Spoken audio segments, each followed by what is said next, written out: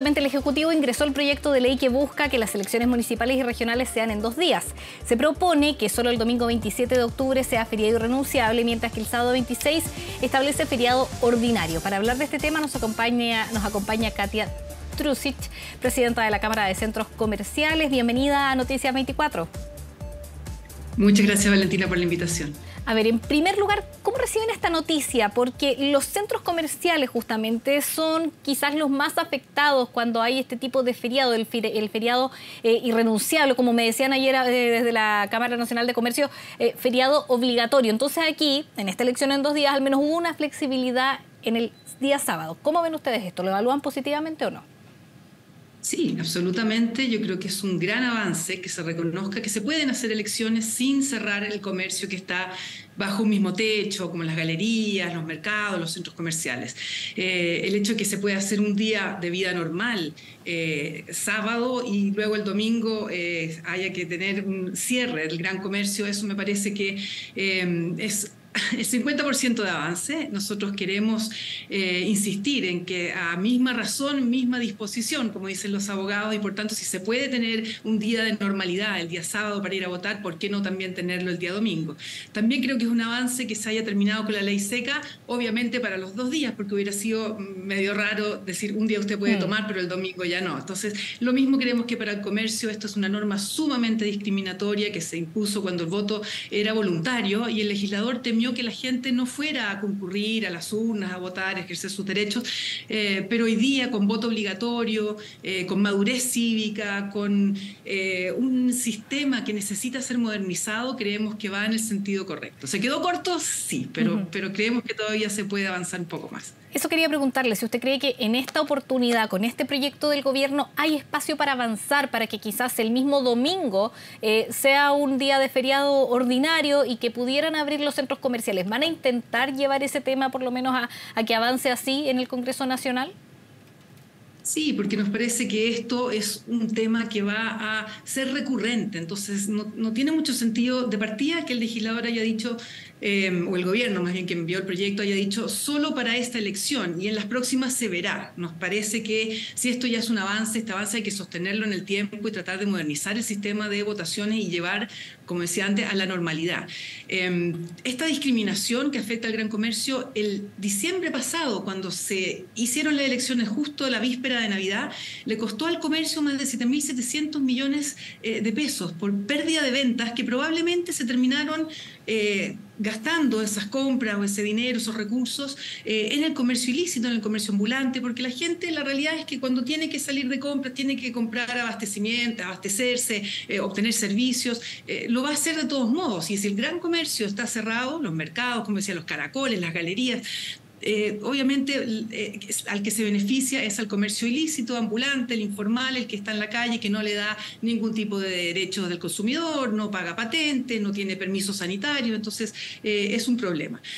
si me permites una cosa más, como qué mejor ejemplo que lo que acaba de ocurrir en febrero, que tuvimos un IMASEC de, esto es un índice de actividad económica de 4,5% y solamente 1,8% fue por un día extra de eh, apertura eh, de, un día laboral más.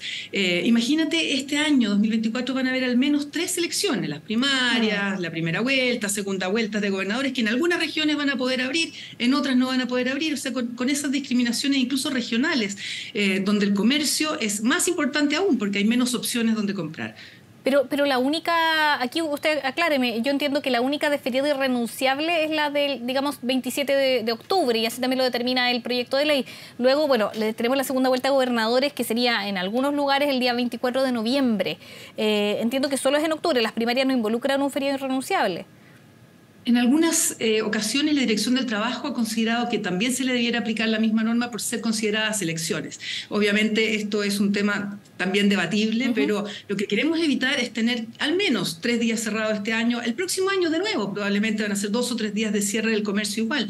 Y cuando estamos en un momento en que se necesita actividad económica, se necesitan empleos formales, como los que aportan estos establecimientos que están con domicilio conocido, que pagan sus impuestos, eh, creemos que es un tremendo daño innecesario necesario, además, en una mirada moderna de cómo debieran ser eh, las elecciones eh, como un día completamente normal, donde uno va, vota y luego sigue con sus actividades de entretenimiento esparcimiento, compras, lo que sea necesario. Katia, y una pregunta, ¿ustedes, por ejemplo, estarían disponibles a que justamente en el gran comercio se dé quizás por, ponerlo de alguna forma, una hora más a los trabajadores para ir a votar. Son dos horas que está el derecho legal, eh, pero, pero lo que escuchaba en argumentos a favor de esta medida es que los trabajadores tienen este derecho ya adquirido, que, eh, que, los ayuda justamente a concretar su votación. Muchas veces las personas trabajan en un lado, votan en otro, más lejano y se hace difícil. Quizás eh, podría haber un poco un beneficio un poco mayor para quienes trabajan en el comercio si es que se avanzara en esta medida de, de que se decidiera para las elecciones tenerlo abierto. Sí, a mí me parece razonable, pero imagínate lo discriminatorio que es, incluso para los trabajadores, que algunos trabajadores del comercio, que son los que están bajo este mismo techo, con sus locales, eh, pymes, grandes, todos, eh, no pueden trabajar ese día, y sin embargo los localtarios que tienen trabajadores que están en la vereda de enfrente, trabajan, tienen las dos horas de permiso para ir a votar y lo hacen con toda normalidad y no es tema. Entonces, más bien esto también a los trabajadores los perjudica en el sentido que esos son días generalmente de fin de semana, donde se vende más del 40% de la venta de la semana, ocurre día sábado, día domingo.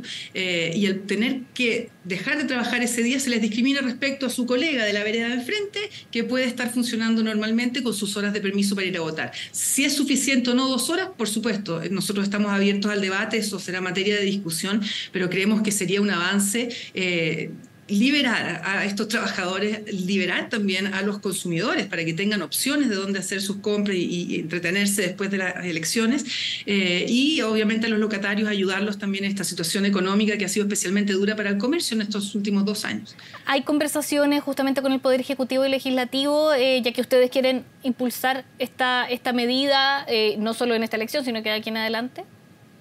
Absolutamente, hemos estado en conversaciones con varias carteras, eh, sectores, economía, trabajo, eh, planteando nuestra preocupación junto con muchísimos gremios más eh, del comercio y, de otros ámbitos que están alineados a lo largo del país en decir que esto es una discriminación que no hace sentido en una legislación moderna y que si ya el legislador da un paso diciendo un día sí, un día no, vemos claramente que no se sostiene la prohibición de que esto se mantenga para futuras elecciones, ni, ni un día tampoco, o sea, ni, ninguno, ojalá.